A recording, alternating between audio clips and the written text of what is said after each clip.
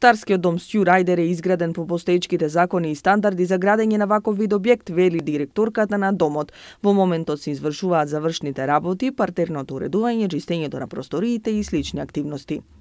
Старскиот дом Сјурајде располага со 2000 метри квадратни корисна површина, поделена на два павилјони, павилјон 1, во која ќе бидат сместени во кој ќе бидат сместени корисници кои самите можат да си ги обавуваат своите животни потреби во однос на храна, хигиена и слично и павилјон број 2 во кој ќе бидат сместени непокретни корисници кои има кои има потреба од помош и нега од друго лице.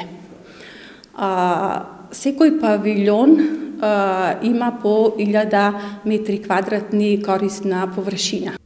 Во Старскиот дом има 70 стамбени единици за живење, 4 простории за персоналот, заедничка кујна со хасап стандарди, две трпезарии, две занимални и други помошни простории. Собите се опремени со бања и систем на уреди кои ќе им го олеснат живењето на лицата.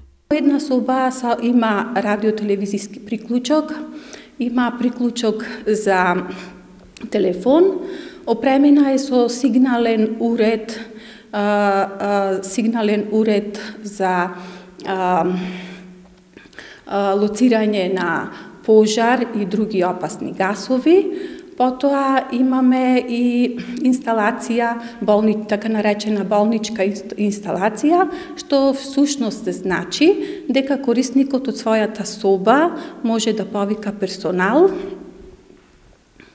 и а, во а, собите за живење подот и ходниците.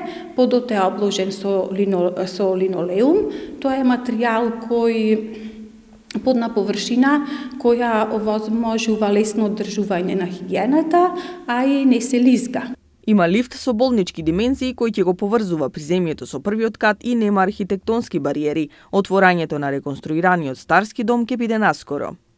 Веќе се прават завршните работи за неколку дена ќе почне да се носи опремата. Располагаме, како што и предходно кажавме, со нова опрема така да корисниците ќе можат да живеат во едни пријатни европски услови на живење и квалитетно да ги поминуваат своите старички денови.